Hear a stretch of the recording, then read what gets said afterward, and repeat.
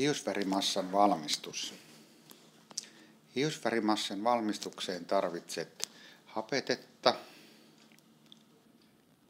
hiusväriä, siveltimen ja värikupin, suojakäsineet sekä digitaalivaan.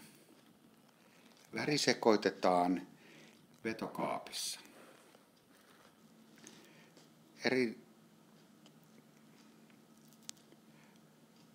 Aloita hiusvärimassan sekoittaminen lisäämällä kuppiin tarvittava määrä hapetetta.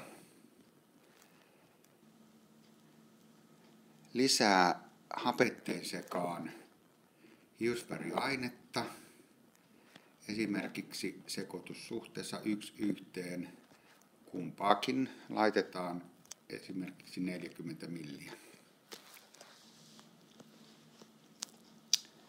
Sekoita väri massa tasaiseksi käyttämällä sivellintä. Huomioi sekoittamisessa, että värimassa pitää tulla, värimassasta pitää tulla tasaista. Valmis värimassa on koostumukseltaan tasaista. Siinä ei saa olla paakkuja